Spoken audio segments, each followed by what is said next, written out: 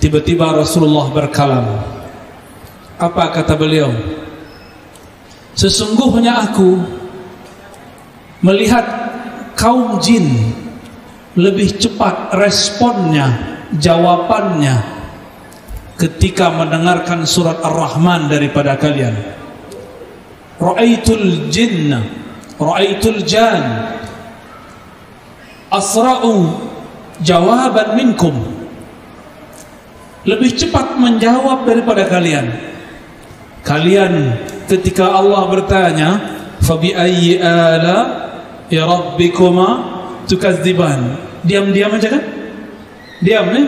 Nah, malam ini kita turunkan satu riwayat, satu ilmu kalau ada imam baca surah Ar-Rahman, setiap ayat itu dibaca, apa jawaban?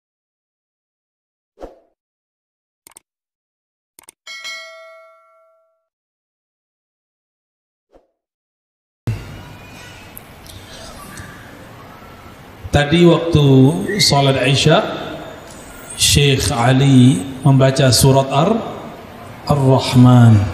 Indahnya luar biasa. Ar-Rahman Allamal Quran. Dulu di masa Rasulullah sallallahu alaihi wasallam ada orang nantang Sayyidina Ibnu Mas'ud Sayyidina Ibn Mas'ud ini mendengarkan semua lafaz Quran dari lisan Rasulullah sallallahu alaihi wasallam.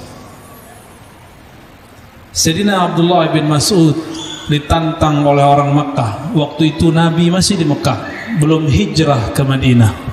Belum. Apa kata mereka? Adakah kamu yang berani baca Al-Quran di Masjidil Haram di hadapan para berhala? Di hadapan al-asnam para berhala-berhala.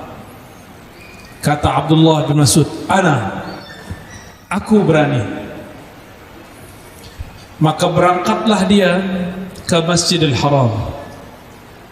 Sampai di sana dia membaca asyhadu an la ilaha illallah asyhadu anna rasulullah. A'udzu billahi minasyaitonir rajim. Bismillahirrahmanirrahim. Ar-rahman. 'allama al-quran orang-orang kafir yang sedang tawaf kepada berhala langsung berhenti melihat siapa yang berani menyebut Ar-Rahman. Khalaqal insan 'allamahul bayan.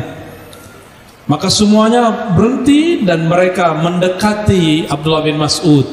Ketika Abdullah bin Mas'ud meneruskan bacaannya salah satu mereka mulai menggebuki pukul tarabahu dia pukul. Alhamdulillah tadi Syekh Ali baca Ar-Rahman tidak ada yang memukul. Alhamdulillah. Coba kalau hidup di zaman Rasulullah saya yakin kita tidak kuat. Tidak kuat. Tapi di akhir zaman ada ujian yang lebih berat. Bertemu orang yang banyak dustanya. Al-Kazzab Sayyidul Kazzabin Dajjal. Itu musuh lebih berat.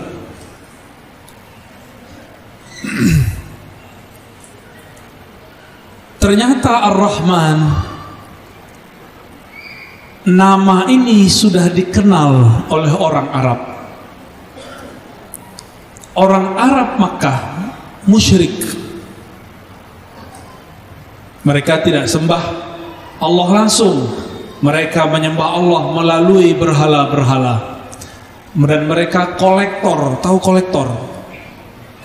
Hmm, pengumpul jami' jami'ul asnam. Kolektor berhala. Mending kolektor duit. Ini kolektor berhala.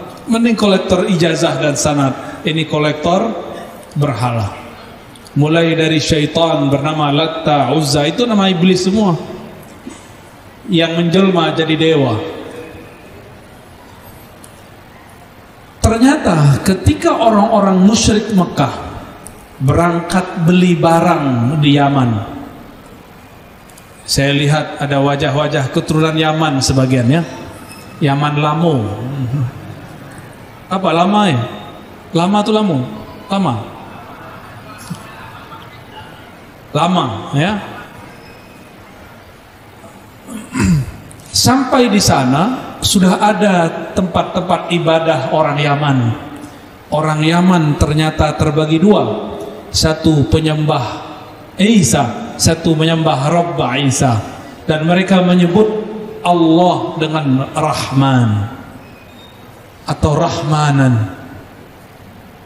Jadi orang-orang Yaman menyebut Allah Rah Rahman. Usut punya usut. Mereka belajar agama ini dari misionaris dari Ethiopia. Raja Habasyah seorang Nasrani yang menyembah Allah mencintai Isa.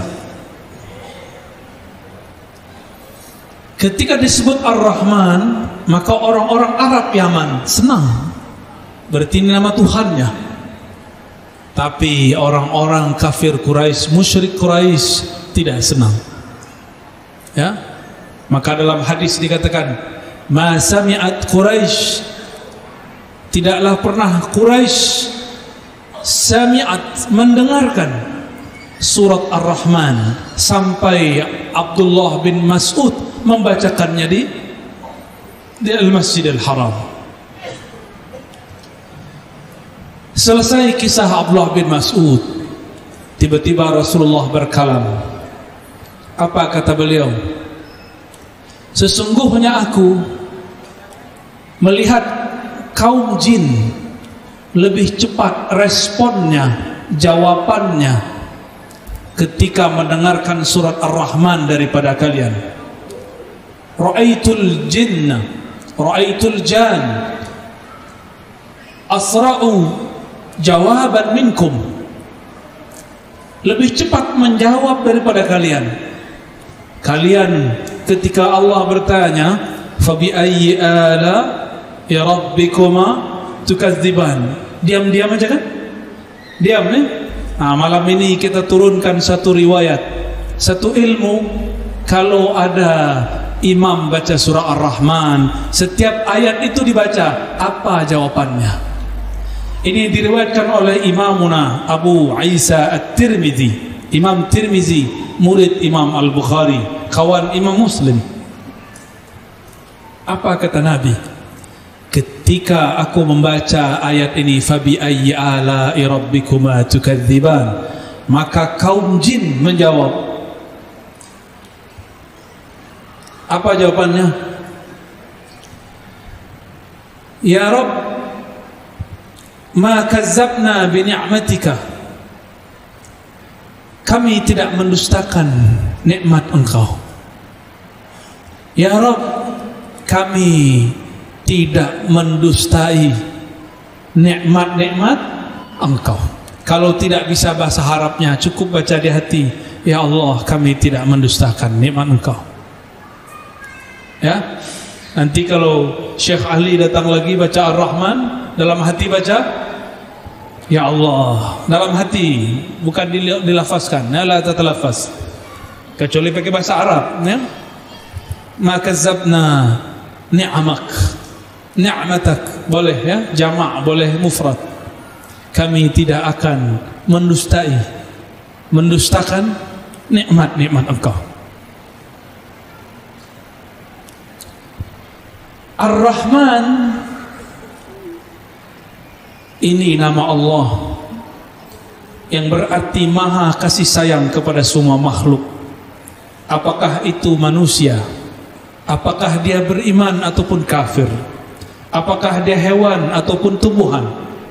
Apakah dia bebintangan ataupun pulau-pulau gunung-gunung? Semuanya dapat rahmannya Allah subhanahu wa ta'ala. Jadi rahman kasih sayang Allah li jami'i khalqih untuk semua makhluknya. Maka siapa saja yang menyayangi semua makhluk dialah Abdur Rahman. Dialah Abdur tapi sayang sekali banyak orang sekarang beragama baru tahu satu dua ayat baru mengerti hadis kullu bid'atin dalalah sudah berani membenci guru sudah berani membenci syekh sudah berani membid'ahkan tuan-tuan syekh yang mereka sudah bertahun-tahun mengabdikan melayani umat. Sungguh sayang, sangat disayang. Kita pun kasihan dengan orang seperti itu. Kita tidak pernah benci. Jika antum menyaksikan saya mengkritisi satu kelompok, saksikan, saya tidak membenci mereka. Saya sayang kepada mereka. Kadang sayang itu bentuknya lembut.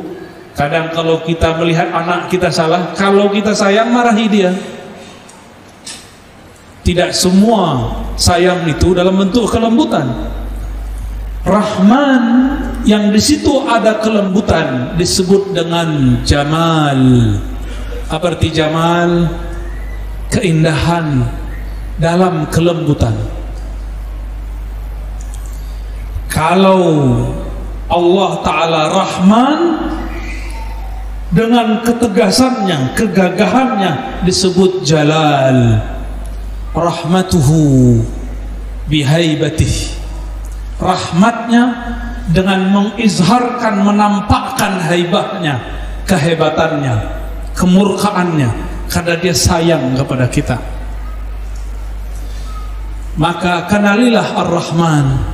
Siapa yang hatinya sudah terisi nama Rahman pasti dia sayang semua makhluk tapi hafiz Quran. Bisa baca Quran. Bencinya setengah mati kepada sesama orang Islam. Cuma karena beda faham. Maka di kolbumu belum ada Rahman. Itulah yang dimaksud Rasulullah. La yujawiz. Imannya tidak tembus. Imannya tidak tembus. Dia baca Rahman dia baca Rahim. Tapi dia tidak pernah menyayangi makhluk Allah malulah kepada Allah Allah memulai setiap suratnya dengan Bismillahirrahmanirrahim. Tidak ada satu surat pun kecuali ada Rahman dan Rahim. Hatta surat Taubah Allah masih sisipkan di ujung dua ayat terakhir. Wabil mu'minina raufur rahim. Bedanya jika semua surat itu langsung Allah yang Rahman dan Rahim, sedangkan di At-Taubah Allah merahmati melalui kekasihnya Rasulullah sallallahu alaihi wasallam. Wabil mu'minin yani sayyidina Nabi sallallahu alaihi wasallam raufur rahim. Inilah basmalah surat Taubah.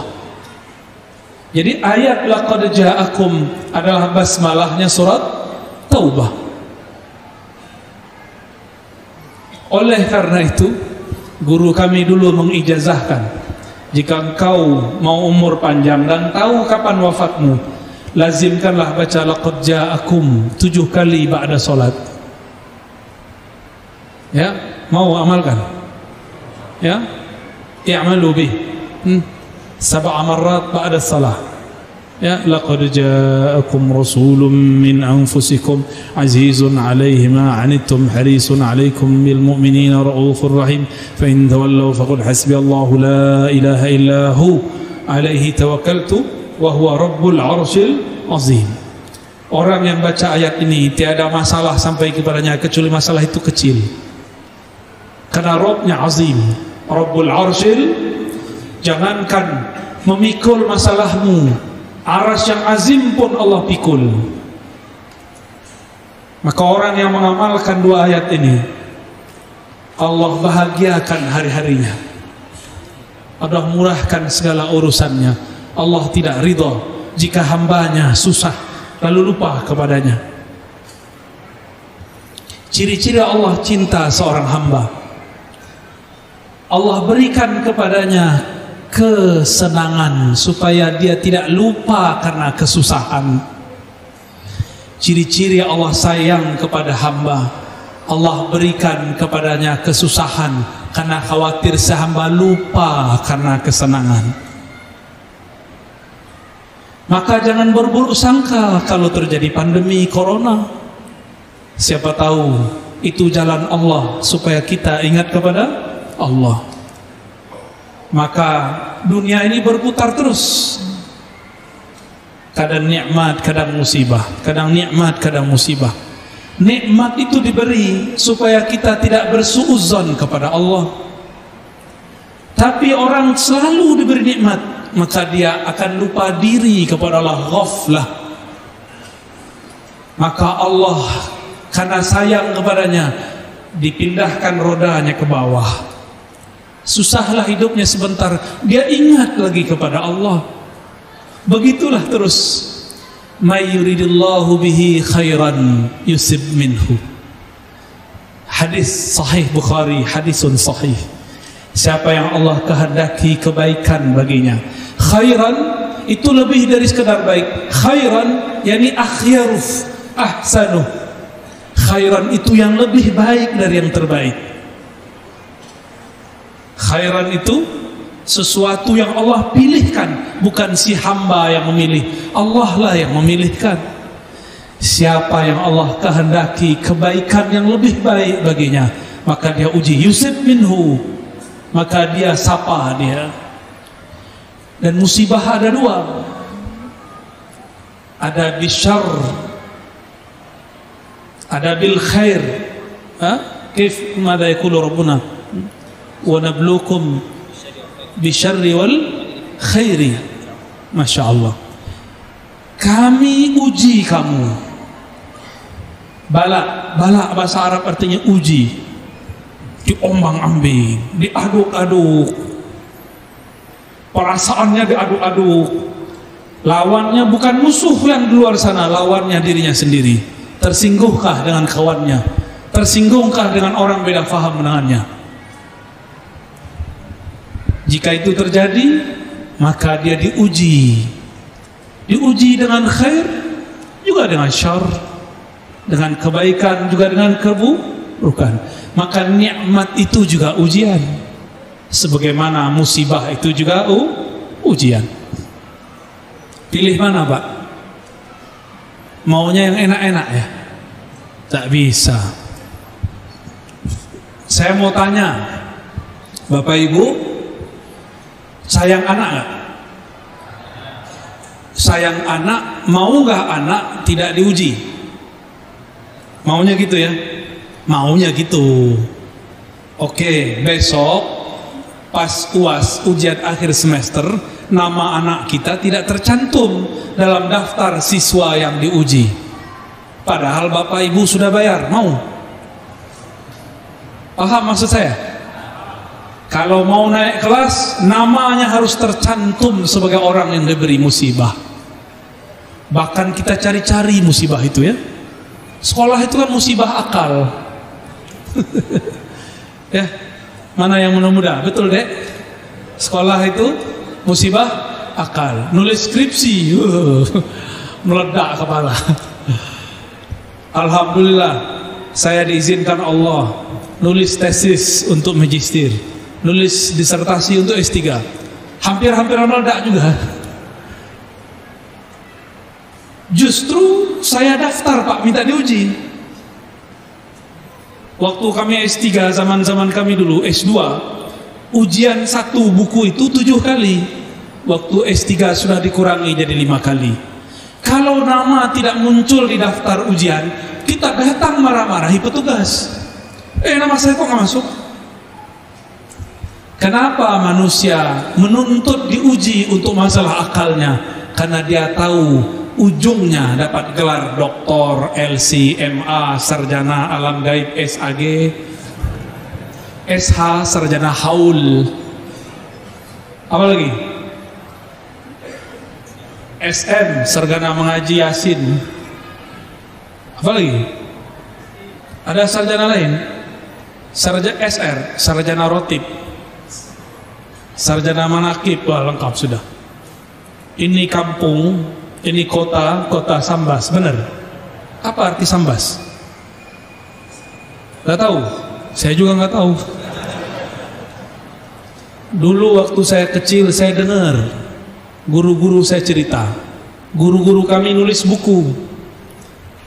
Di Sambas sana dulu ada ulama muncul namanya Ahmad Khatib Sambas bin Abdul Ghaffar.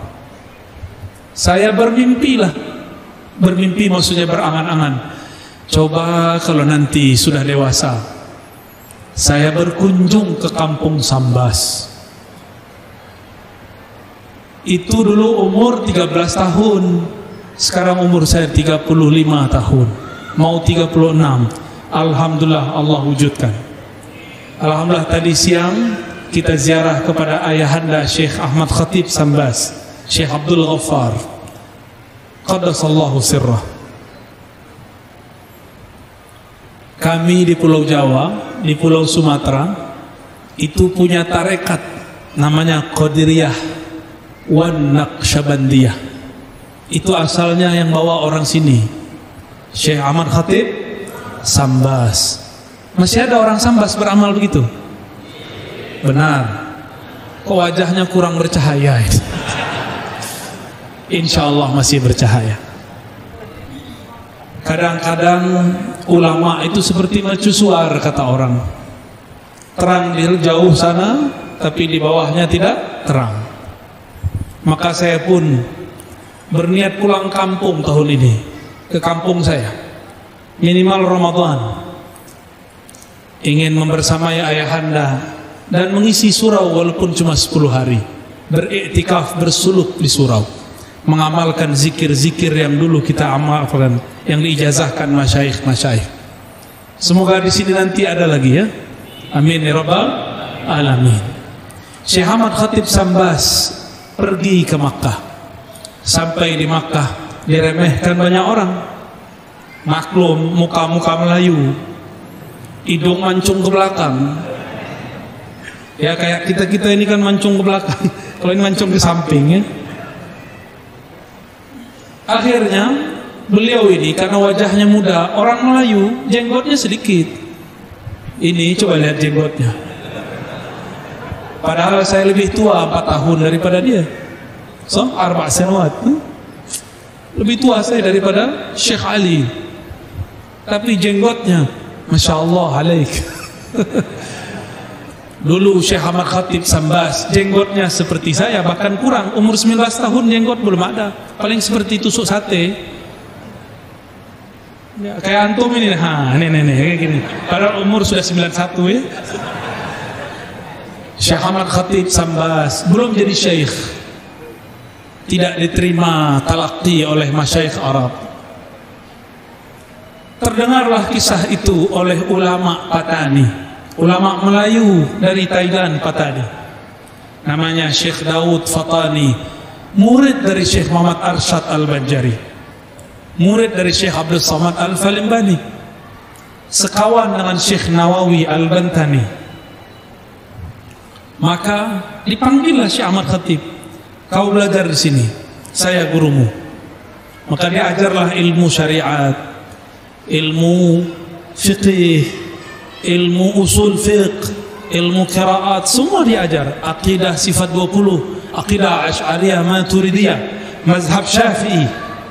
Setelah matang dua ilmu ini, Syekh Daud mengatakan, saya hantarkan engkau kepada guru yang cocok untukmu. Namanya Syekh Syamsuddin Al-Qadiri. Al-Makki. Diantarkan kepada Syekh Syamsuddin mursyid tariqah Al-Qadiriyah di Makkah. Ditalkinkanlah zikir keras.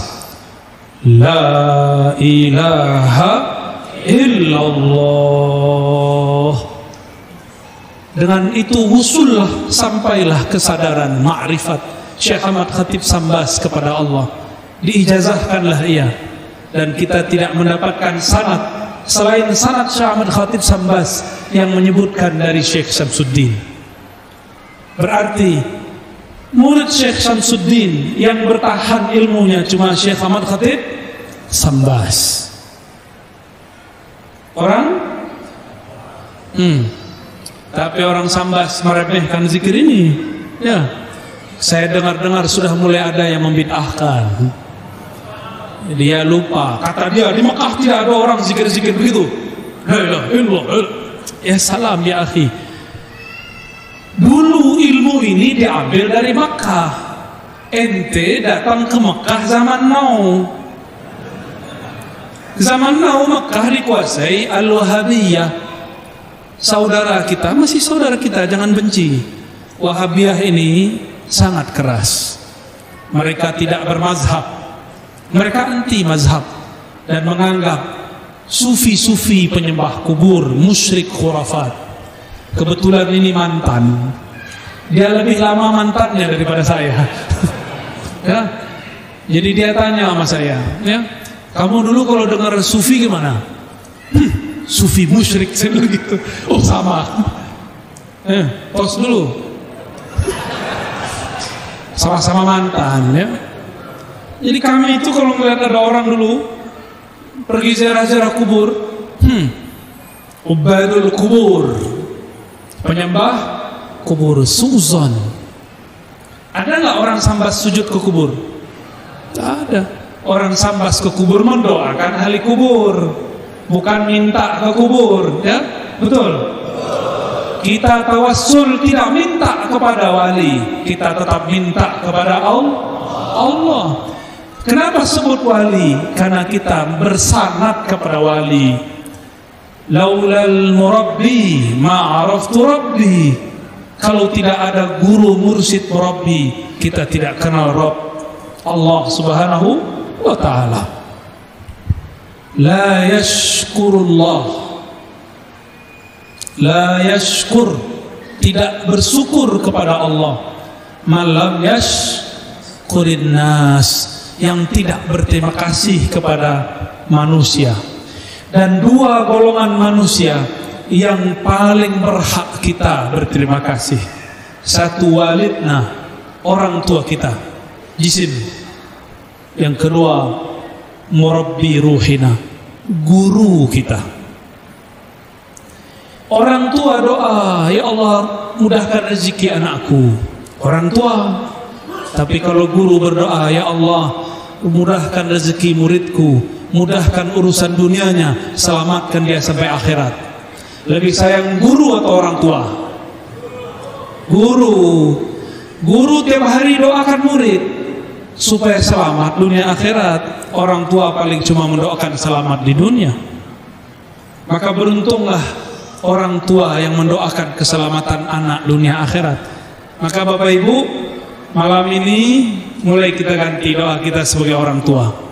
Doakan anak, ya Allah, selamatkan anak-anakku, saudara-saudaraku, dunia dan akhirat. Mudah kok? Susah nggak? Mukmin yang dicinta Allah, mukmin yang mendoakan saudaranya. Maka disebut dalam hadis Muslim, doa paling mustajab, doaul muslim li akhihi. Doaul mukmin li akhihi doa seorang mukmin kepada saudaranya. Dan yang paling banyak mendoakan saudaranya adalah Rasulullah sallallahu alaihi wasallam. Lalu pewaris-pewaris Rasulullah sallallahu alaihi wasallam. Itulah sebabnya kenapa guru-guru mursyid diberkahi Allah. Karena dia sayang kepada makhluk. Dia mendoakan semua makhluk. Ya guru-guru itu susah hatinya kalau melihat muridnya susah tapi apalah daya dia pun hidup tidak begitu enak. Tidak juga itu sempurna. Maka Bapak Ibu saudara Allah mengingat sejarah yang sangat mahal ini mari bangkitkan kembali semangat ruhani yang dulu dihidupkan oleh Syekh Ahmad Khatib Sembas dulu beliau pulang ketemu Belanda balik. Sekarang nggak ketemu Belanda kan Gak ada yang melarang zikrullah. Tanya sahabat saya ini. Di Indonesia lah tempat paling bebas ngajar agama. Sahih? Indonesia baladna ada bilad hur. Sah? Nah, lidawa wa ta'lim. Di Mesir, tak.